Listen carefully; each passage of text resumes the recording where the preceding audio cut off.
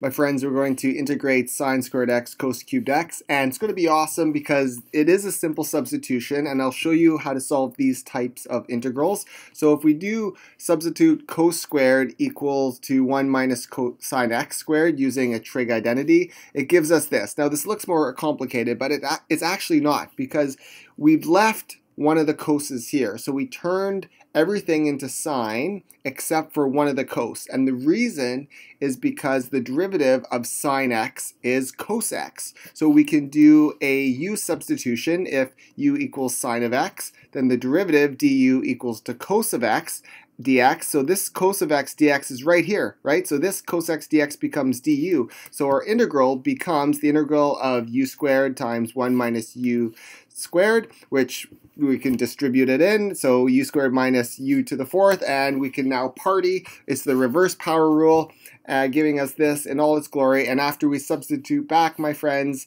this is our integral in all its glory. You absolutely need to check out this type of integral where both powers are odd, where both odd exponents. The more integrals you do, the better you'll get. You can survive. Cheers.